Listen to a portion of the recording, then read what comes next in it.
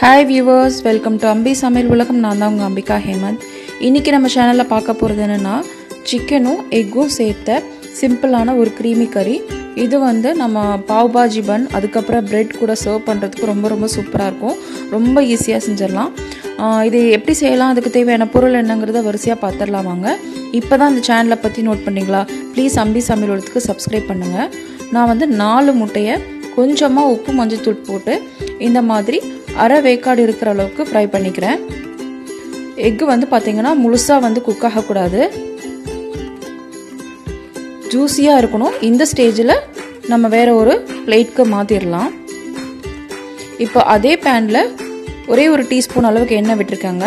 எண்ணெய் சூடானதும் அரை டீஸ்பூன் அளவுக்கு ஜீரகம் சேர்த்துக்கிறேன்.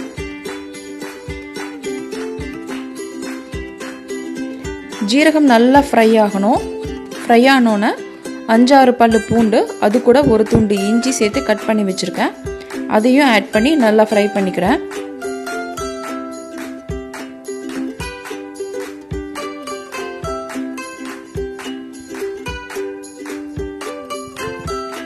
இது வறுபட்டோன்னே மற்ற காய்கறிகள்லாம் சேர்த்துக்கிறேன். அதாவது நான் எனக்கு யூஸ் பண்ணுறது ஒரே ஒரு பெரிய வெங்காயம் ஒரு கேரட் ஒரே ஒரு சின்ன சைஸ் உருளைக்கிழங்கு. உருளைக்கிழங்கு நல்லா குக் ஆனோன்னே அரை டீஸ்பூன் அளவுக்கு மஞ்சள் தூள் தேவையான அளவுக்கான உப்பு சேர்த்துக்கிறேன்.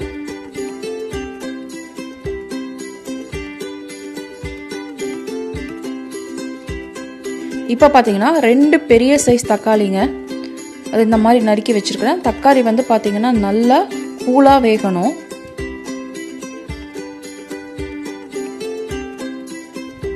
தக்காளி வெந்துட்டு இருக்கும்போதே ஒரு டீஸ்பூன் அல்லது ரெண்டு டீஸ்பூன் அளவுக்கு டொமேட்டோ பேஸ்ட் வந்து ஆட் பண்ணிக்கிறேன். இதை ஆட் பண்ணிங்கன்னா உங்களுக்கு நல்ல ஒரு திக்கான ஒரு டொமேட்டோ சாஸ் பதம் வந்து கிடைக்கும். இது இல்லா இல்லைன்ற பட்சத்தில் ரெண்டு டொமேட்டோவை அடித்து ஜூஸ் மாதிரி எடுத்து கூட ஊற்றிக்கலாம் மசாலாக்கு ஒரு டீஸ்பூன்லேருந்து ஒன்னே கால் டீஸ்பூன் அளவுக்கு பாவ் பாஜி மசாலா ஆட் பண்ணிக்கிறாங்க.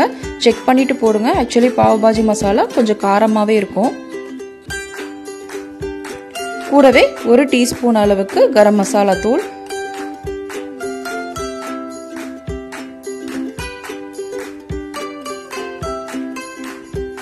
இந்த ஸ்டேஜில் நான் வந்து ஒரு கைப்பிடி அளவுக்கு மின்ஸ்டு சிக்கன் நல்லா வந்து கீமா பண்ண சிக்கன்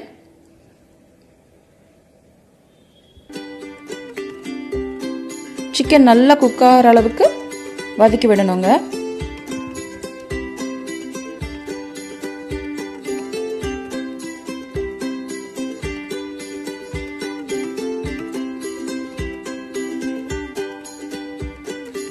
இந்த சிக்கன் கொஞ்சம் சீக்கிரமாகவே வெந்துடும் ஏன்னா வந்து போன்லெஸ்ன்றதுனால இந்த ஸ்டேஜில் ஒரு முக்கால் கப் அளவுக்கு திக்கான வந்து க்ரீம் ஆட் பண்ணிக்கிறேன். நான் யூஸ் பண்ணுறது தான் அமுல் க்ரீம்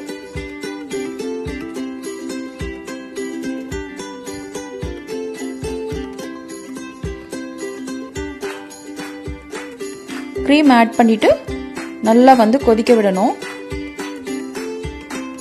இப்போ முன்னாடியே ஃப்ரை பண்ணி வச்ச முட்டையும் போட்டு நல்லா கிளறி விட்டுக்கலாம்.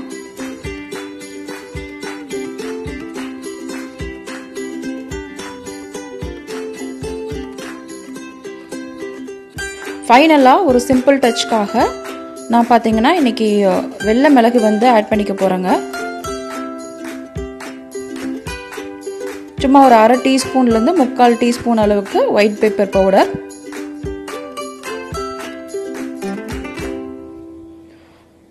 அவ்வளோதான் நம்ம க்ரீமி கறி ரெடி ஆயிடுச்சு. கார்னிஷ்க்கு கொஞ்சமாக பச்சை மிளகாயும் கொத்தமல்லி தலையும் தூவி இருக்கிறேன்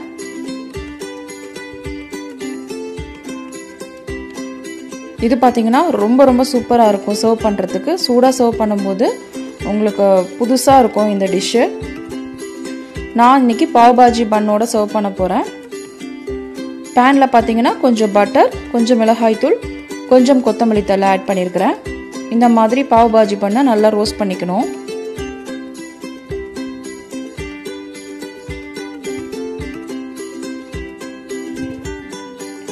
ஸோ வின்டருக்கு ஏற்ற சூடான சுவையான பன் வித் க்ரீமி எக் கறி வந்து ரெடி ஆயிடுச்சு.